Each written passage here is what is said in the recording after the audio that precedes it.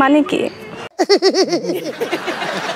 বাংলাদেশে এখন পর্যন্ত যত বড় বড় নায়ক এসেছেন, তাদের মধ্যে শাবনুরের সময় শাবনুরি একাধারে শাবানা, ববিতা শবনবও কবরে ছিলেন। অভিনয়ে তার রোমান্টিকতায় মানুষ মুগ্ধ হয়েছেন। তার হাসিতে হেসেছেন দর্শক। আবার দুঃখের কান্নার দৃশ্যগুলো চোখে পানি এনে দিয়েছে সিনেমা প্রেমীদের। শাবনুরের সমসাময়িক কোনো নায়িকাই তার সমানে সমান হতে পারেননি। এমনকি ঢাকায় সিনেমার লাস্যময়ী নায়িকা মৌসুমী নিজের থেকে শাবনুরকে এগিয়ে রেখেছেন। সেই অমর নায়ক সালমান শাহ থেকে শুরু করে এখনও শীর্ষে অবস্থান ধরে রাখা সুপারস্টার শাকিব খানের সঙ্গেও জনপ্রিয় জুটি গড়ে নাম্বার ওয়ান নায়িকা হয়ে দর্শক হৃদয় স্থান করে নিয়েছেন শাবনুর। মাঝখানে মান্না, রিয়াজ, ফেরদৌস, শাকিল খান, আমিন খান, অমর সানি, বাপ্পারাজ অমিত হাসানের সঙ্গেও দাপট দেখিয়েছেন এই নায়িকা। তবে দীর্ঘ এই ক্যারিয়ারে অনেক চড়াই উত্রায়ে নিজের অবস্থান ধরে রেখেছিলেন শাবনুর। সালমান শাহর অকাল মৃত্যুতে পরবর্তীতে রিয়াজের সাথে বিরোধ ও শাকিব খানের প্রতি ঝুঁকে পড়া একাধারে জুটি গড়ে ধারাবাহিকভাবে হিরসেনা উপর দেয় শাবনুরকে নিয়ে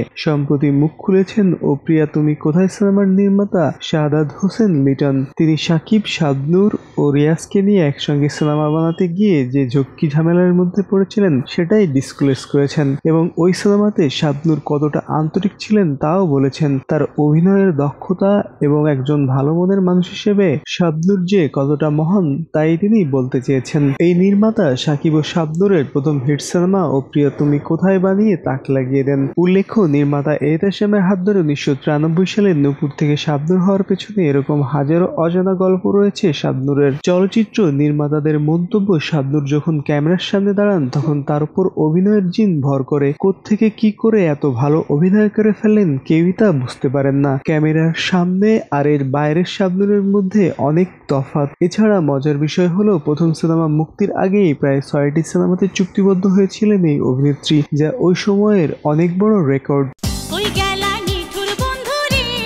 पहले खुदा हाफिज फिर मिलेंगे क्यों.